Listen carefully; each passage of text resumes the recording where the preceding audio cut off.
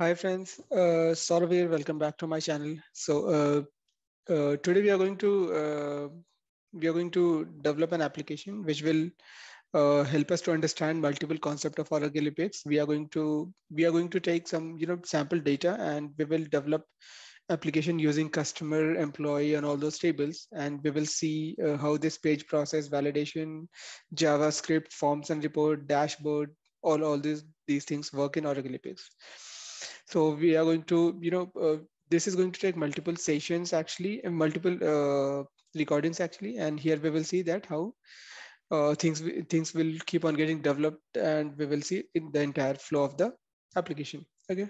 So for that, I'm going to share my screen, and I'm going to show how we can do all these things. So let me share my screen, and uh, mm, let's get back to login page. Okay. So here we have this uh, Oracle Apex login page. Uh, so I have, I already have a workspace. We are going to use this apex.oracle.com for this development. So I'm going to log in over here. Uh, the workspace, what I have here is code with Saurav uh, username I'll enter and the password you can also maybe you can uh, create your own workspace and you can try all these things along with me so that you'll be able to uh, understand everything in in better way. Okay. So uh, so i already have an application here demonstration hr i'm going to show this application to you so that you will get an idea that what exactly we are going to do. Okay. I'll just show this application so that you will be um, you'll be able to understand what type of uh, data we are going to show and uh, uh, how this application is going to look like enter.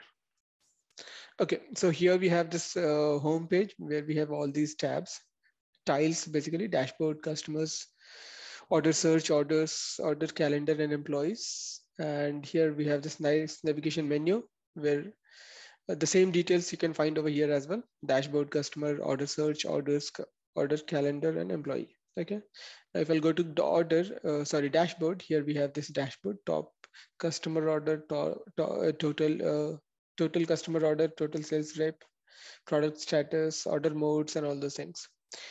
In the customer tab, we have list of all customers where we get this flexibility to create the customer, okay, with these details and uh, to edit the customer like this where all these things are getting, we are getting pre-filled information over here.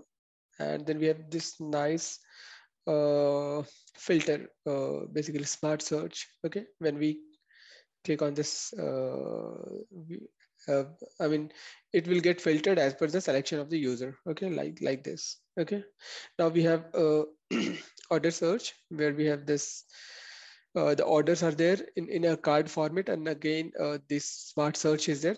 So this smart search is going to search the fields, search the data basically. Similarly, here we have uh, orders. So, so, so the first thing is uh, this is kind of master detail form. So this is master, uh, sorry, master detail report. This is master report. This is detail report. So when we click on this, the last one, let's say if I'll click on last one, corresponding detail report I'll get over here. If I'll click on this one, corresponding detail report I'll get over here. So here, uh, I think the, the relation between these two is like, uh, let's say if we have, we have total order of 21863. So here uh, the, this, the bifurcation is there. We have unit price and quantity. So when we will do multiplication of unit price and quantity, we'll get some amount. And when, when we will do sum of all these, we will get this 21863. So like this. So this is nothing but a master detail report.